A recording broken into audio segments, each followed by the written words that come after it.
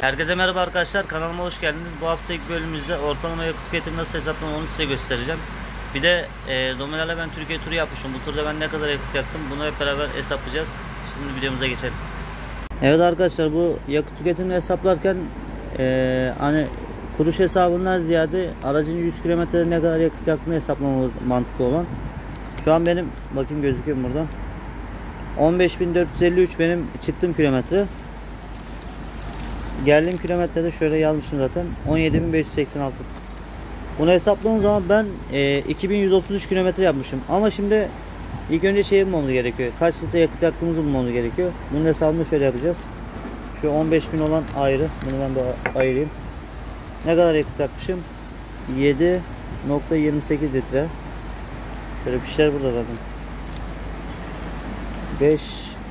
5.19 artı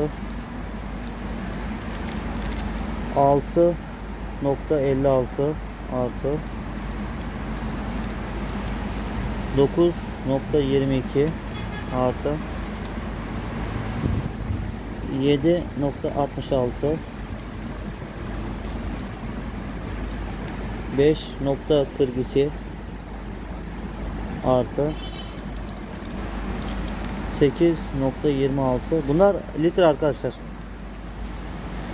Şöyle 8.97 8.97 artı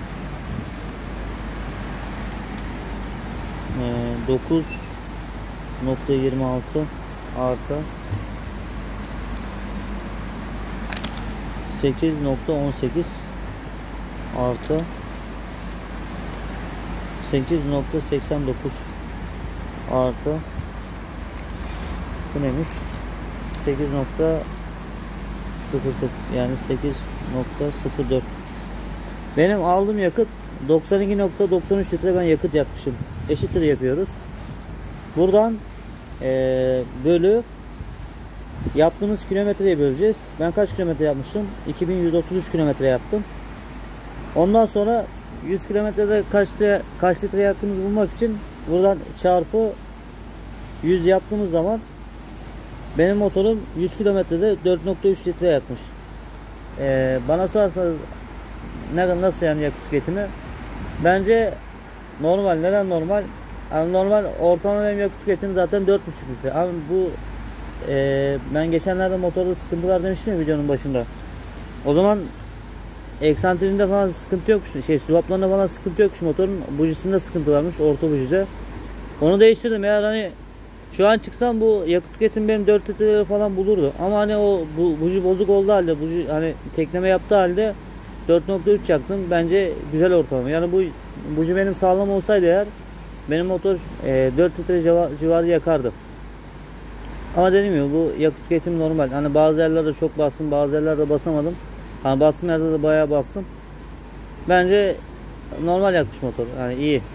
Kötü değil. Hani bu yakıt tüketimi 4.8 hani veya 5 litre falan çıksaydı o zaman fazlaydı ama 4.3 litre buji bozuk olduğu halde o kadar yakması bence güzel. Bir tane motor yüklüydü. Bazı yerlerde mesela çok rüzgar vardı.